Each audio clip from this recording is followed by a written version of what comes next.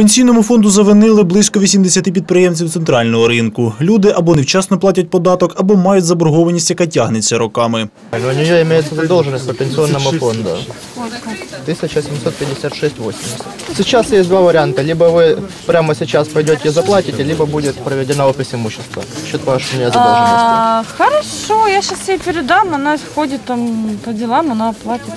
Телефонному режимі державний виконавець спілкується з власником ядки, і вже за півгодини борг лишається в минулому. В такому режимі виконавча служба навідується до підприємців у супроводі представників пенсійного фонду та міліції один-два рази на тиждень.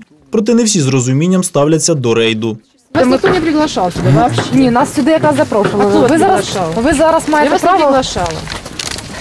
Я разговаривать с вами общаться не буду. Ця жінка заборгувала близько 10 тисяч гривень, і це лише перед пенсійним фондом. Зі своїм боргом вона не погоджується, тому, згідно чинного законодавства, її майно у присутності понятих підлягає опису. Підприємець два тижні тому вже отримувала попередження, однак проігнорувала його. Така поведінка, говорять посадовці, зустрічається найчастіше. І тому вкотре звертаються до підприємців з проханням розрахуватися вчасно, аби потім не віддавати майно. Анатолій Кравченко, Валерій Коваленко, АТВ.